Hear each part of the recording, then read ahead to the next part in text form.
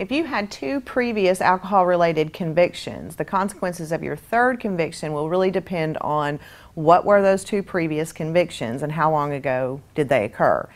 If you had convictions for um, DWIs, then it will make your third DWI a DWI third.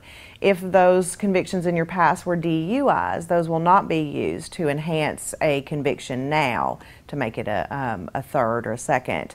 Um, it also really depends on how long ago they happened. If they occurred more than five years ago, then they will not be used to affect this DWI.